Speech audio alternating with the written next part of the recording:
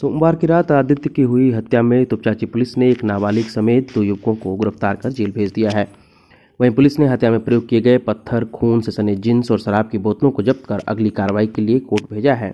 तापस मंडल ने पुलिस को पूछताछ के दौरान बताया कि वह निर्दोष है, जबकि आदित्य की हत्या उसके ही नाबालिग दोस्त ने अन्य दोस्तों के सहत मिलकर की है।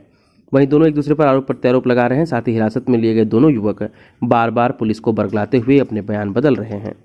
बताया जाता है कि मृतक छात्र गाँव गाँव के ही एक युवती से उसका प्रेम प्रसंग चल रहा था। आदित्य नौवीं तो उसकी प्रेमिका आठवीं वर्ग की छात्रा थी।